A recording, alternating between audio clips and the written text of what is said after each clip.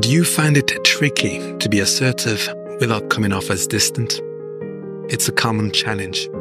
But mastering this balance is key to effective communication and healthy relationships. Assertiveness is not about dominating the conversation. It's about clear, honest, and respectful communication. It means expressing your own thoughts and needs confidently and at the same time valuing the dignity of the person you're speaking with. Here are a few things you can do to get better at this dance.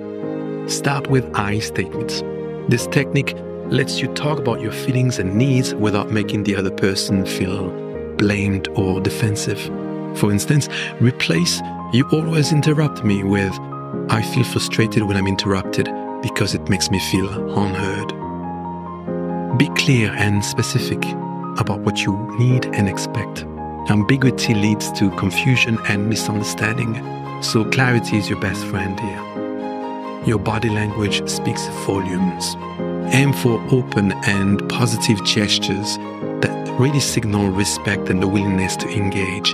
And lastly, empathy is crucial. Recognizing and appreciating the other person's feelings and viewpoints even as you share your own, will cultivate a constructive and respectful dialogue.